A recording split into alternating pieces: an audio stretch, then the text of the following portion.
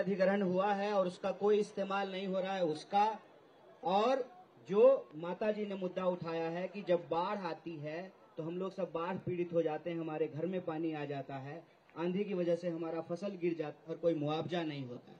तीनों मुद्दे पे राहुल जी ने आपको आश्वासन दिया है कि हम इस मुद्दे को उठाएँगे, इसको पूरा करेंगे। कांग्रेस पार्टी अधिग्रहण का कानून लेकर के आई एमएसपी का कानून लेकर के आई और बाढ़ पीड़ितों को मुआवजा देने का कानून लेकर के आई है। लेकिन जो नई सरकार है, ये किसान विरोधी सरकार है। इसीलिए यह जो भारत जोड़ो न्याय यात्रा है, इसमें हम पाँच न्याय की बात कर रहे हैं। युवा का न्याय, नारी का न्याय, भागीदारी का न्याय, किसान का न्याय और मजदूर का न्याय। कितने प्रकार का न्याय है? पाँच न्याय। उसमें से एक सबसे ज़रूरी न्याय है किसानों का न्याय। और राहुल जी ने बोला है, याद रखिएगा, राहुल गांधी जो बोलते हैं, दुनिया इधर से उधर हो जाए, वो करके रहते हैं। तो आप सबको एक बार फिर से बहुत बहुत धन्यवाद। भूमि अधिग्रहण हुआ है और उसका कोई इस्तेमाल नहीं हो रहा है उसका। और जो माता जी ने मुद्दा उठाया है कि जब बाढ़ आती है तो हम लोग सब बाढ़ पीड़ित हो जाते हैं, हमारे घर में पानी आ जाता है, आंधी की वजह से हमारा फ़सल गिर जाता और कोई मुआवजा नहीं होता। तीनों मुद्दे पे राहुल जी ने आपको आश्वासन दिया है कि हम इस मुद्दे को उठाएँगे। तो मेरा कहना है कि जो भी राजनेता किसानों की ज़मीन की रक्षा करने की बात करेगा, उस पर 24 घंटा मीडिया का आक्रमण शुरू हो जाएगा। सही बात है? अब यहाँ पे ये यह आपका एसएसबी का है।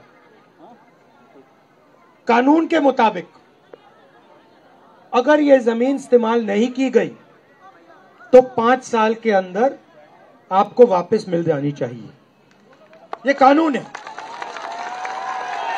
मगर यहाँ पे हिंदुस्तान की सरकार ज़मीन अधिकरण बिल के कानून को तोड़ रही है। तो मैं ये आपके लिए ज़रूर पार्लियामेंट में उठा सकता हूँ। मैं ये गारंटी नहीं दे सकता हूँ कि मोदी जी उसके बारे में कुछ करें ना करें, मगर मैं आपके लिए उठा तो सकता हूँ। और मैं आपको आश्वासन दे सकता हूँ कि अगर हमारी सरकार आएगी तो एकदम ये जो आपका काम है, हम करके आपको दे देंगे। किसानों को चारों ओर से घेरा जा रहा है। आपकी ज़मीन छीनी जा रही है आपसे ज़मीन ली जाती है। अदानी जी जैसे बड़े बड़े उद्योगपतियों को फ्री में तोहफे जैसे गिफ्ट में दी जाती है। दूसरी तरफ़ से खाद, बीज, इन चीज़ों में आपसे, आप पर दबाव डाला जाता है, आपसे पैसा छीना जाता है। और फिर नरेंद्र मोदी जी ने सबसे बड़ा काम करने की कोशिश की। वो तीन कानून ले आए, काले कानून ले आए। और जो आपका था, वो आपके नाक के सामने उन्होंने छीनने की कोशिश की। अच्छी बात है कि देश के सारे के सारे किसान खड़े हो गए और वो पीछे नहीं हटे। इसलिए आपकी, मैं कह दूँ, आपकी जान बच गई, नहीं तो आप सब बर्बाद हो जाते। मेरी सोच है कि किसान देश की रीढ़ की हड्डी है। बेशक?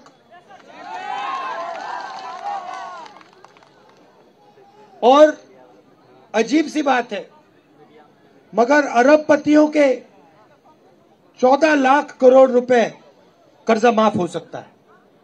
मालिया का कर्जा माफ़ हो सकता है, अदानी का हो सकता है, इन सब का हो सकता है। मगर किसानों का कर्जा माफ़ नहीं हो सकता। आपने क्या गलती की है? ठीक है। अगर किसी का माफ़ नहीं करना, अगर किसान का कर्जा माफ़ नहीं करना तो फिर उनका भी नहीं होना चाहिए। यह अन्याय क्यों हो रहा है? कि उनका चौदह लाख करोड़ माफ़ हो रहा है, और जब आप आते हो, आप कहते हो, भैया, हमारा भी कर दो। सरकार आपसे कहती है, हम तुम्हारा नहीं करेंगे। तो न्याय होना चाहिए। अगर उनका हो रहा है तो फिर इनका भी हो। और अगर इनका नहीं हो रहा तो फिर उनका ना हो। सही बात है ना? तो मेरी सोच है कि हिंदुस्तान के हर नागरिक की कम से कम प्रोटेक्शन होनी चाहिए। मतलब पिछले चुनाव के पहले हम एक योजना लाए थे, न्याय योजना, जिसमें हमने कहा था हर गरीब व्यक्ति के बैंक अकाउंट में, चाहे वो मजदूर हो, किसान हो, हर परिवार के बैंक अकाउंट में हम कम से कम सरकार कम से कम पैसा डालेगी। डायरेक्ट बैंक अकाउंट में पैसा डालेगी। तो अगर हम किसानों की रक्षा नहीं करेंगे, अगर हम किसानों की रक्षा नहीं करेंगे, चाहे वो एमएसपी की बात हो, कर्जा माफ़ी की बात हो, सही दाम दिलाने की बात हो अगर किसान को यह नहीं लगेगा कि देश की सरकार हमारी रक्षा कर रही है तो देश आगे नहीं बढ़ सकता है। और आज सच्चाई है कि जो किसान के दिल में जो डर है, उसको सरकार मिटा नहीं पा रही और किसान ने सरकार पे पूरा का पूरा भरोसा खो दिया है। मगर मैं आपको यहाँ ये कहने आया हूँ कि हमारी कोशिश रहेगी कि जो आप भरोसा खोए हैं, वो एक बार फिर आप हमारी सरकार पर भरोसा करें। और हमने, देखिए, हम, मैं मैं खोखले शब्द नहीं बोल रहा हूँ। मैं खोखले शब्द नहीं बोल रहा हूँ। बहत्तर हज़ार करोड़ रुपए किसान का हमने कर्जा माफ़ किया था। याद रखिए आप, सही ज़मीन अधिकरण बिल हम लाए थे। छत्तीसगढ़ में जब हमारी सरकार थी, राजस्थान में हमारी सरकार थी, हम किसानों को सही दाम देते थे। तो हमने काम करके दिखाया है और आने वाले समय में भी हम काम करके दिखाएँगे।